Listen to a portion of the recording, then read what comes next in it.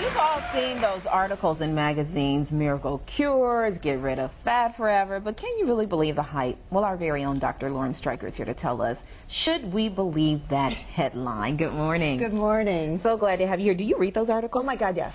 All the time. And yeah, I should be reading Newsweek, I should be reading my medical journals.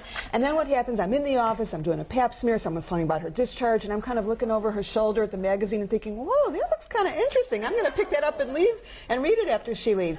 It's total guilty pleasure. And when I'm on planes, you know, I've got to put my Kindle away. Yeah. And I'm not a good flyer, so I'm figuring we're going to die anyway, and I might as well die reading Glamour magazine.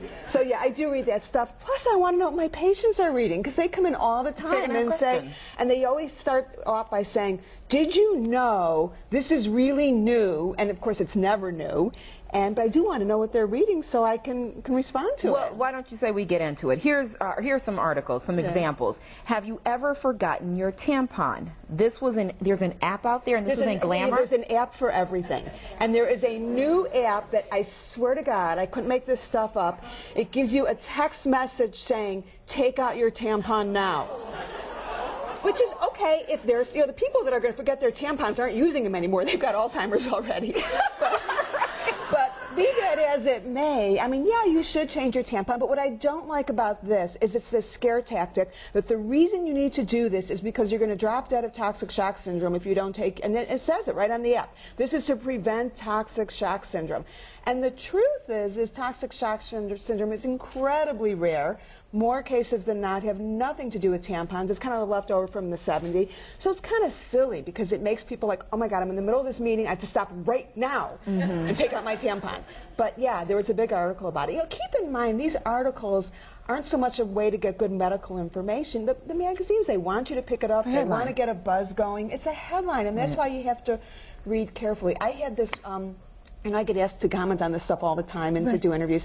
So yesterday, this reporter calls me and she says, "We want to interview you. We're doing a big article. Did you know that if you put Monistat on your head, it will make your hair grow faster?" what?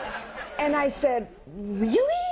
Really?" So I said, "Let me call you back." So of course I'm thinking maybe there's something I don't know. You know, I don't know everything. So I searched the scientific literature and I call her back and I said, "You know, there's no science behind that, and you really shouldn't put the Monistat for your you know what, know what on your head." And and she said, "No, really, it works." So I can guarantee you that there will be a big article out on this magazine oh, boy. about it, and they probably will quote me as saying that there's no scientific evidence, but then they're going to quote 20 other people that say, "Yeah, I put the Monistat on my head, it made my hair grow," and people are going to be talking about it. And at the end of the day, that's what they want. They want to get people talking about this. Right. Well, that's why we got you Yeah, here you yeah, give everybody a heads up. Let's talk about this next one, the artificial butter flavor that makes popcorn so buttery.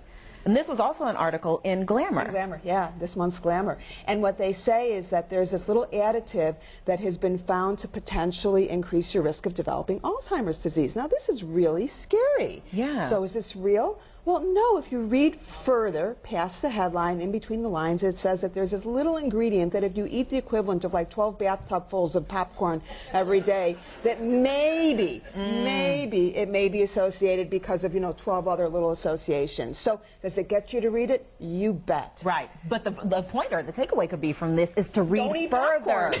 Not that one, but read further into the article. But you- Just don't but- go but by the you know, the other thing is about these articles, if they don't do any harm, it's like, okay, it's fun, you get a little buzz going, you talk about it, but some of these articles have you buy products or do things that really aren't going to be useful. Okay. Like, there, you know, the cellulite. We always talk about cellulite. There Oh. was an article, I forgot which magazine that's in. We're going to get to that Yeah, yeah, cosmopolitan yeah, because we don't want to seem like we're Yeah, beating yeah, up yeah. glamour. But let's talk about this new other article that has a headline about sex in your period in Oh, Self right, magazine. Right.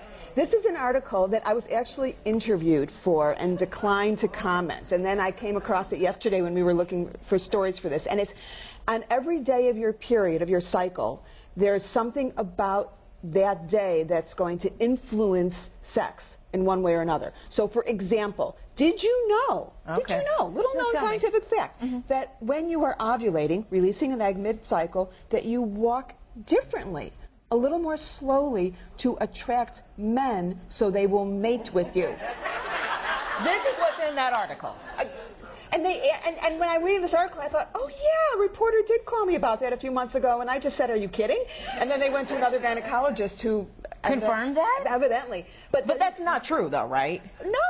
Okay. Well, I just want to double, triple check. Maybe you're walking slowly because you forgot to take your tampon out because you didn't have a Or if you're walking to us and you're tired.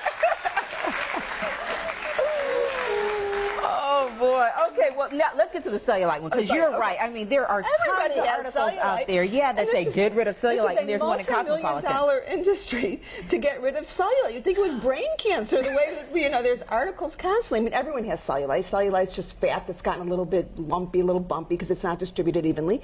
And what's going to make someone get cellulite is first of all, sadly, genetics. Blame your mother. Mm-hmm. Um, but also how much fat there is. So the only way to reduce cellulite, not get rid of it, reduce it, is to lose weight, to get rid of the Mm-hmm. fat. But you wouldn't think that looking in every single woman's magazine out there because there are, you know, Creams, products rubs. and creams and rubs and Treatments. people and there's stories, stories of people who spend thousands of dollars when they should be going to the gym and eating less and they're doing all these procedures to get rid of cellulite. So read the headlines, have fun with them, but don't act on them and read a little more closely. Right. before you Thank you. Dr. Lauren Streicher. Great segment.